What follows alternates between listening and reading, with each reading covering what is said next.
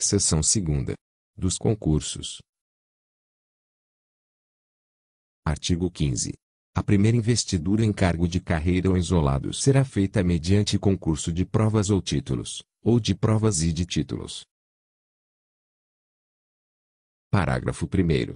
O concurso será apenas de títulos quando se tratar de provimento de cargo para qual se exija profissional diplomado em curso de ensino superior, ou quando depender da conclusão de curso especializado instituído pela administração pública.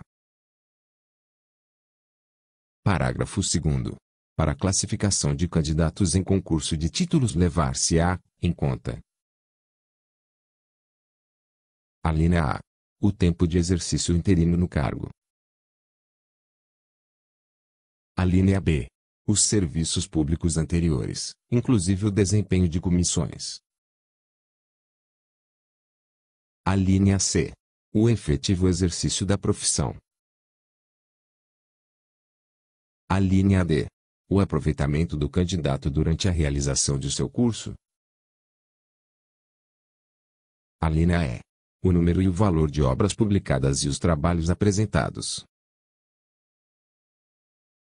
Artigo 16. Os limites de idade para inscrição e concurso, o prazo de validade deste e as condições especiais que o candidato deva satisfazer para o aproveitamento de determinados cargos ou carreiras, serão fixados nos regulamentos e instruções respectivas. Parágrafo único. Não ficarão sujeitos a limites de idade os ocupantes efetivos ou interinos de cargos públicos municipais,